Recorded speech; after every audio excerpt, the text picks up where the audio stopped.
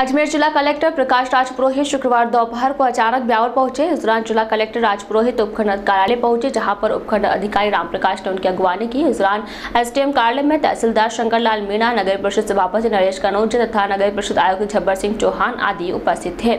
इस दौरान जिला कलेक्टर ने सभी प्रशासनिक अधिकारियों से प्रशासन, शहरों तथा गाँवों के संघ अभियान के बारे में जानकारी लेते हुए अब तक की प्रगति रिपोर्ट ली। प्रगति रिपोर्ट के बाद जिला कलेक्टर ने उपस्थित अधिकारियों से कहा कि यह राज्य सरकार की महत्वपूर्ण योजना योजना है, जिसके माध्यम से अधिक से अधिक लोगों को फ़ायदा पहुंचाना है।